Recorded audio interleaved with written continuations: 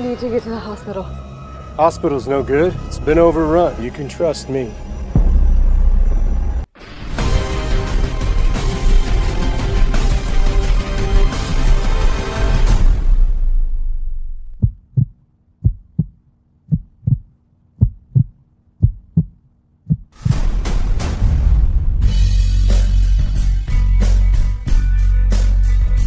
My name is Robert Neville.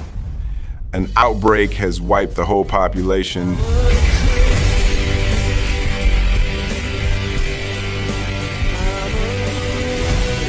For three years, I thought I was the only survivor living in New York City.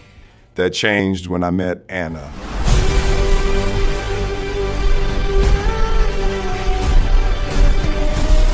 Since the day I lost my family, I lost my faith in God.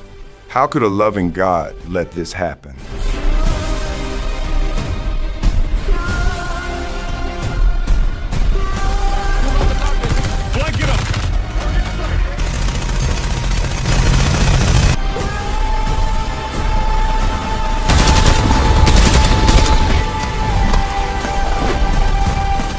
Anna says God has a plan.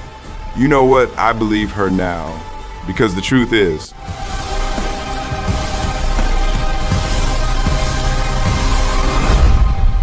God didn't do this. We did.